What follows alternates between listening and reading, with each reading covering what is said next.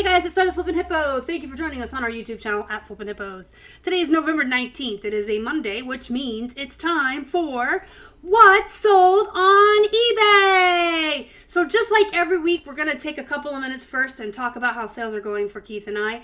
And then we're going to get into the highlights of our sales from the week, show you uh, all of our best flips, all of our exciting flips, and a couple of items that I think might be helpful bolos for you guys while you're outsourcing. So, you guys know I've been saying it for weeks, sales have been slow for us, especially considering it's Q4. When we got back from our business trip to Florida at the end of October, we let's be frank, we weren't hustling as hard as we could have been. We weren't grinding as much as we could have been. We were just kind of hoping that our sales would increase with daily activity and uh, being back from vacation mode and kind of ride the coattails of Q4, and that didn't work. So we have to grind and we have to hustle and we have to put in a little bit more work to get our store back up to where we want it to be. We used to have over 2,500 listings at one point, and we were down below 1,800. So uh, maybe Keith and I got too big for our britches. Maybe we were just doing so well for so long, writing in at the above 0.5% sell through rate and just doing so great, and our average sale price was raising. Um, maybe we got too big for our britches. And I said that to Keith. I said, hey, I think we got too big for our britches. Um, that was one of my grandma's favorite expressions about people who kind of had a big head, I guess. So, you know, in the spirit of absolute honesty and transparency that I always try to have on this channel, um, our sales were slow. Number one, because we went away and the store was on vacation and on five day handling. But number two, because of our attitudes when we got back, the blase, oh, it's Q4, things will sell. We can just keep going as we had been. And that's not how it works. Uh, we were listing 10 things a day a piece, sometimes a little bit more. I, I do have a lot of other things to focus on, like this YouTube channel and Poshmark. But when your eBay sales don't bounce back after vacation, you need to put in the extra effort to make it bounce back. And I want to see Q4 sales. So I had to be a big girl and take the blame. Um, it is what it is. So we need to get our listings up. We are now back at a solid 0.5% sell through rate, but I want to see more sales, and that means having more listings. There's, you know, so we're now trying to do 20 a day a piece.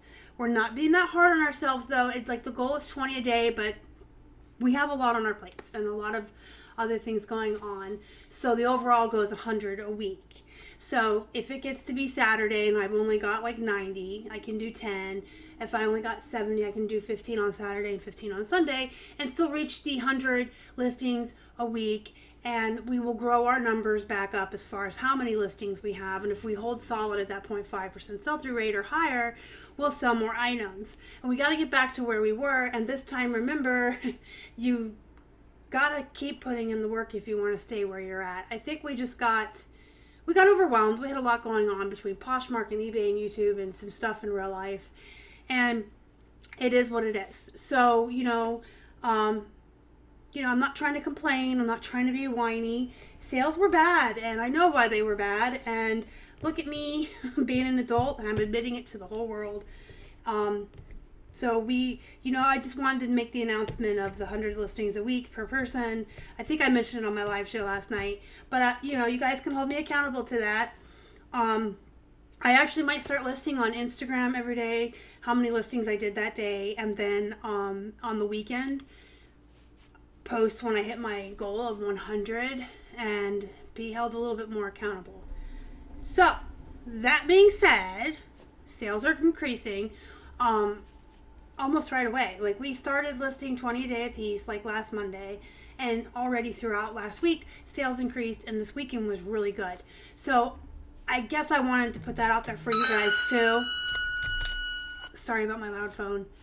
Um, I wanted to put that out there for you guys too. If you put the work in, it does pay off. When you put the work in, you will see results when you don't put the work in, you don't see the results. And if you ever get to a point where you're doing really, really well, don't pull back and think that you can just ride on relisting your unsolds every day or the fact that it's Q4.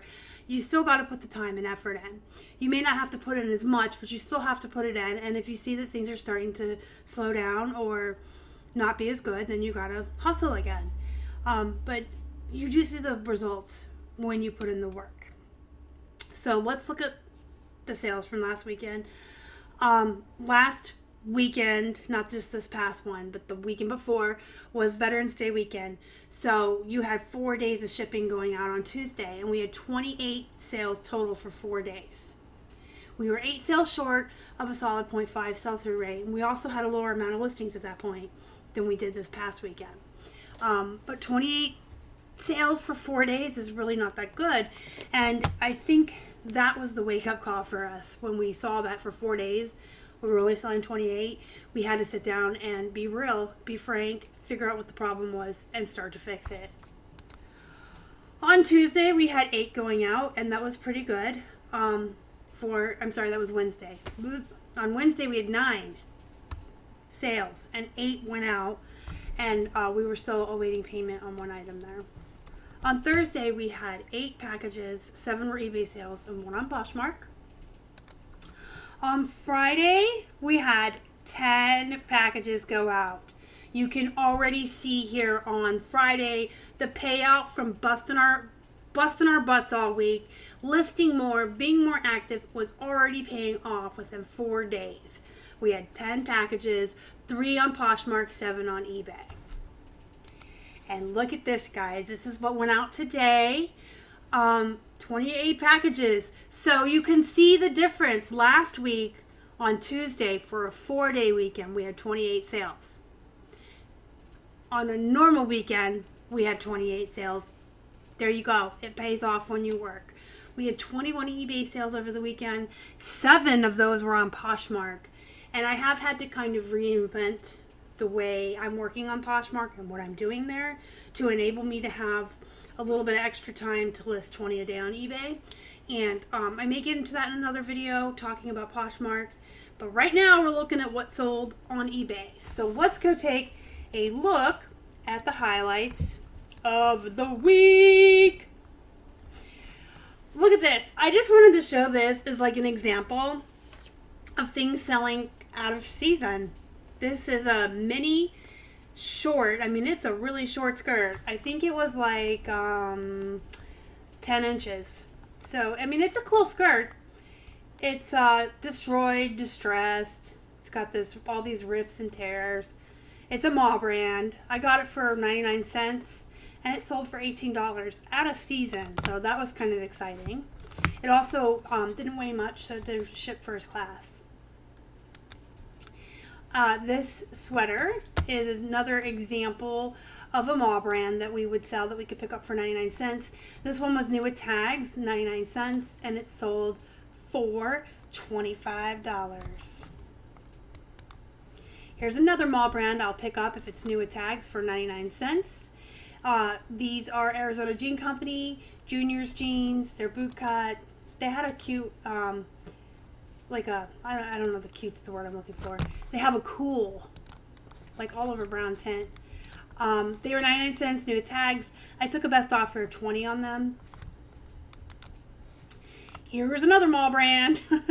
These are Old Navy's men's jeans. They're like the slim skinny gray. These ones actually we didn't purchase for reselling. I had purchased these for my son and he didn't like them. He asked me for skinny jeans a couple Christmases ago and I, I did get the right size for him. I, I guess he just didn't like that they were gray or the way they fit. Um, he's a big fan of like Aeropostale and American Eagle jeans. So they kind of sat in his dresser for a couple of years. a couple weeks ago, we cleaned out the boys' dresser and everything that they don't fit anymore. We're actually selling, and I took a best offer on these of 25. Um, there's actually a kind of funny story here if you read the description. So all the things we took out of the boys' dressers, um, I put into two piles to be washed and new with tags. And I'm telling you, like, the kid never wore these. He tried them on, never wore them. Um, and they went in the dresser for a couple years. And a couple of the things that were new with tags got mixed in with the stuff to be washed. And Keith didn't, he didn't go through it. Like, he just took what I said to wash and dumped it in and washed it. And there were like four pairs of the jeans that he didn't like, my son didn't like, that were new with tags that went through the wash and the dryer, and no longer had tags on them. So I listed them for a little bit less than I wanted to, and I just explained it that um, these were our jeans. They were never worn, the tags were removed, and the jeans were actually washed. Um, and I didn't list them as I would have probably listed these at 30 if they had their tags or even 35. Um, you guys know I love to list high.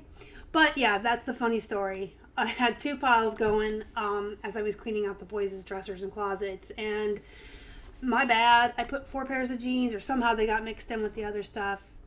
Keith washed them for me, bless his heart, saved my back, but um, they just kind of all got dumped in together. But that's okay. I still got $25 for some jeans that had been sitting around for two years and nobody was going to wear, right?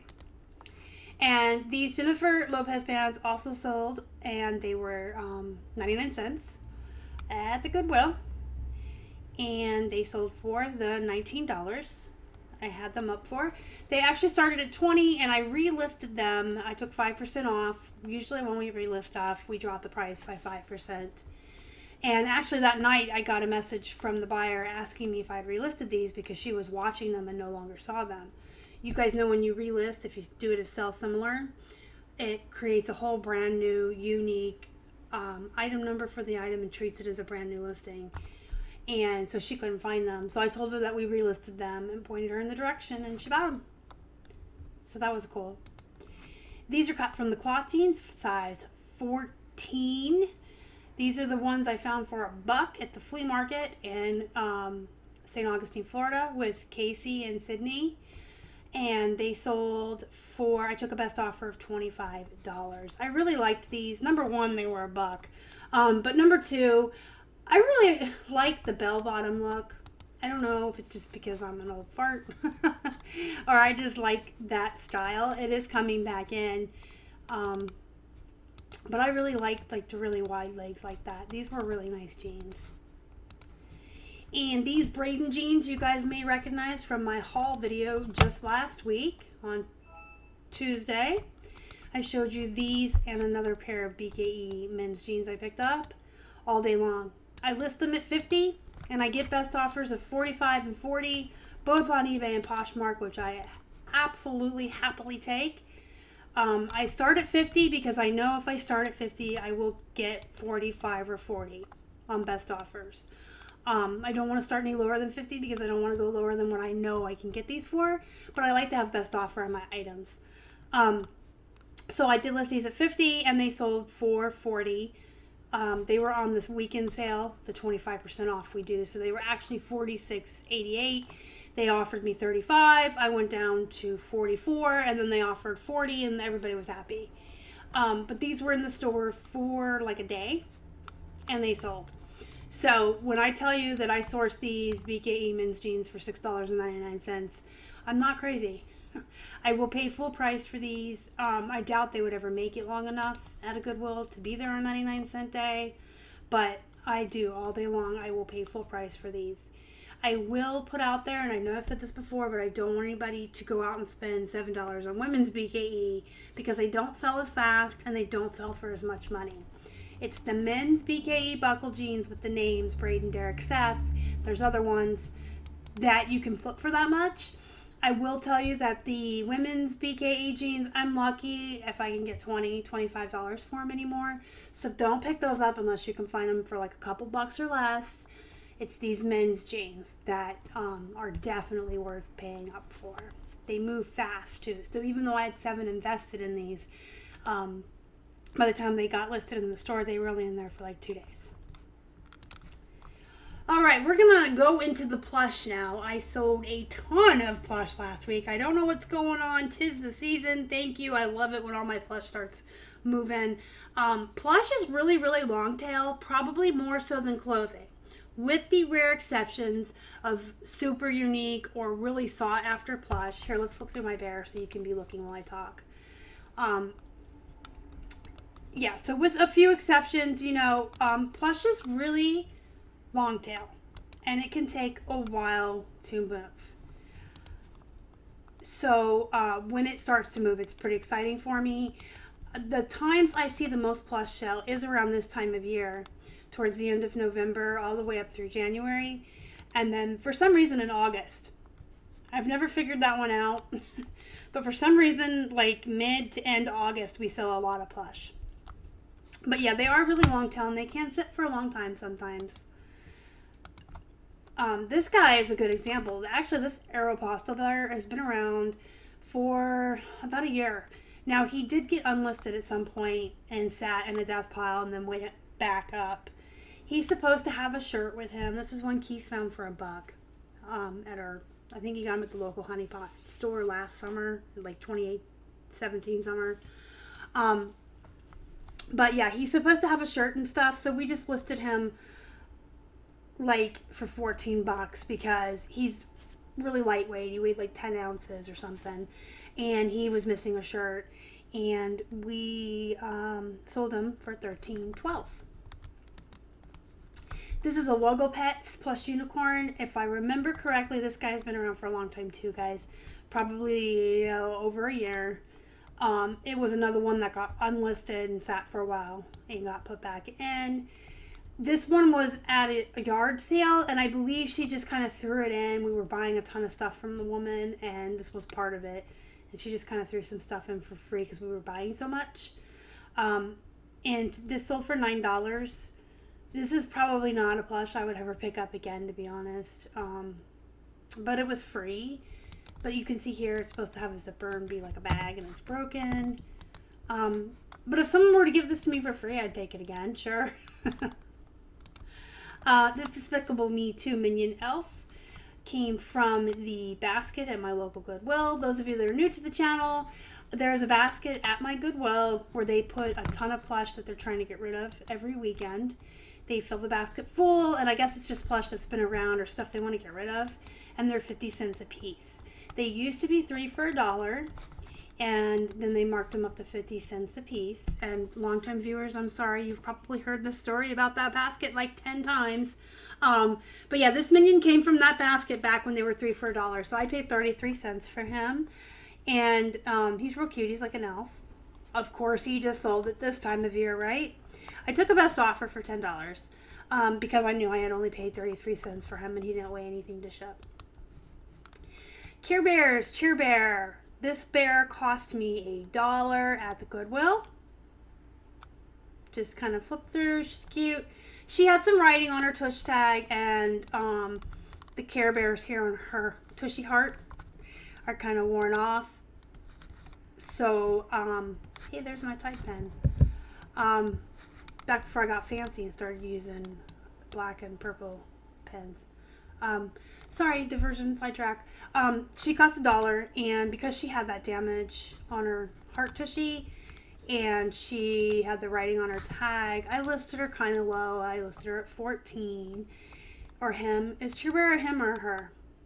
Looks like a girl to me, but um, I accepted a best offer of 12 for this bear. This Care Bear sold within 12 hours of being listed.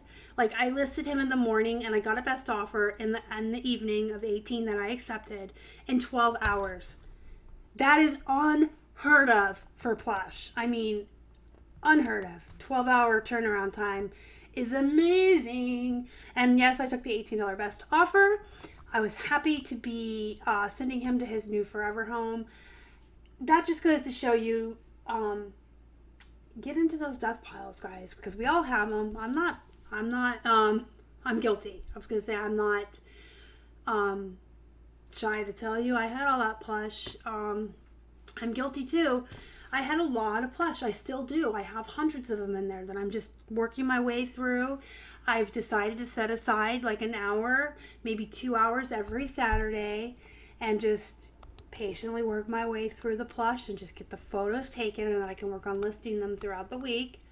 But if you guys have an overwhelming death pile of something, try to do that. Try to dedicate like an hour on a Saturday or Tuesday, whatever you can do, to just start photographing it. That's step one, and then you can get it listed. Because this bear sold within 12 hours for $18 and it was just sitting. Like I had money just sitting around, right? Same with this guy. He was sitting around for a while and um, he was listed last week and he's already sold. He sold for the full um, $18 I had him listed for. He was, I believe, a dollar ninety nine at Goodwill. I think he was in a recent haul video. And this one was um, around for a while. He was unlisted and sat in the death pile for a long time before I got him back up. Um, and I accepted I accepted a, a sixteen dollar and fifty cent offer on him. He was like a dollar at the Goodwill, I think. It's been so long. Um, I don't know if I've ever told the story about the plushies, but we had a lot of um, plush that we were just kind of like redoing their locations and stuff, and we put them all in the drafts, and then our drafts all got deleted. So we lost like two 200 listings of plush, and then they all just got kind of put in the death pile with all the ones I kept buying. And so we're still finding some of those older ones that I'm putting back in the store. Um, yeah, I told you I accepted 1650 for him, right? Okay, so here's the phones we sold this week. This one we accepted a $15 offer on. This one was free. Uh, Keith bought a phone from a gentleman locally, and he just like threw this in. Um, he had no use for it. He said it was just sitting in a drawer. So basically, Keith got two phones for the price of one. Although this one, you know, wasn't worth a lot. But when you don't pay for it, when someone just throws it in for free, hey, we sold it for 15 so uh, less fees it's about 225 and shipping was probably three something so we'll say five dollars fees and shipping it was free. So we made 10 bucks on a phone that we didn't pay anything for that someone just threw in with another one. This galaxy uh, went for a best offer $65 and keith paid 20 for it and this is from the auction. If you hadn't heard already, and if you have heard the story 10 times, again, to my longtime viewers, I'm sorry. Keith bought an auction a while back. It had a bunch of phones in it in varying degrees of um, cosmetic damage and damage, and sold them for parts are not working. This one sold for 110 was the best offer we took on it. So there you guys go. Tons of plush, a couple of phones, some mall brands, some new tag stuff. Um, but yeah, sales have definitely been getting better since we started listing more.